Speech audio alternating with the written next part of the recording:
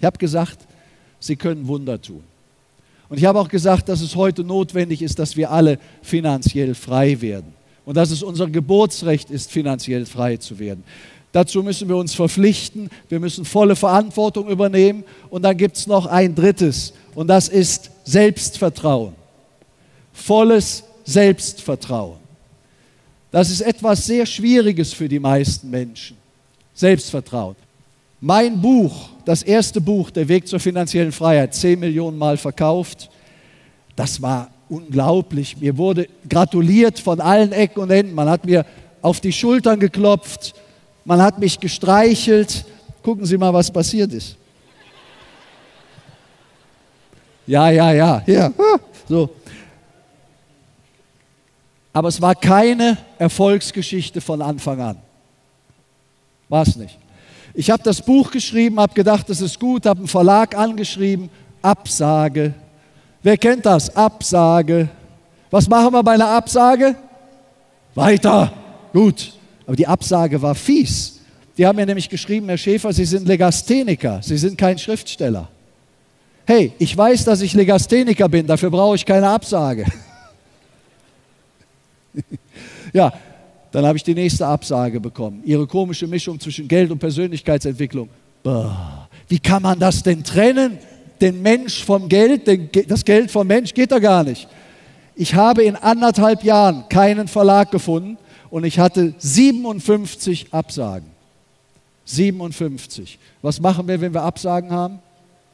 Weiter. Der 58. hat gesagt, ich mach's mit Ihnen.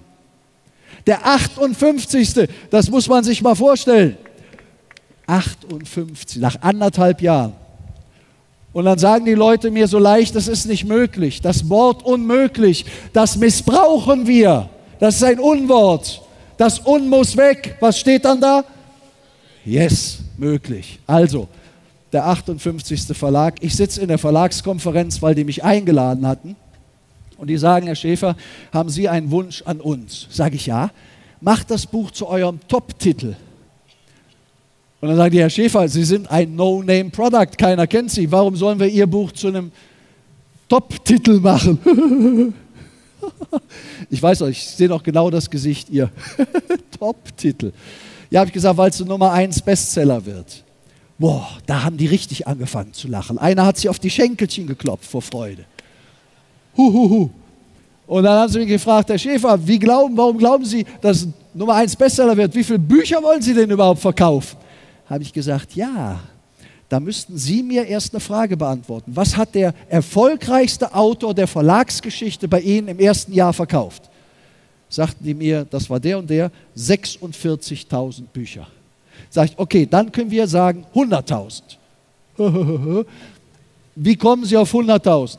Ich ganz einfach. 46.000 ist eine ungerade Zahl. Runden wir es auf auf 50 mal 2, 100.000.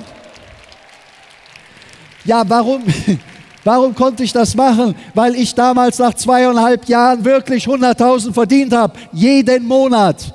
Obwohl ich es mir gar nicht vorstellen konnte, konnte ich mir vorstellen, Nummer 1 Bestseller, keine Ahnung, aber ich wusste, wenn ich mich verpflichte, dann kann ich es.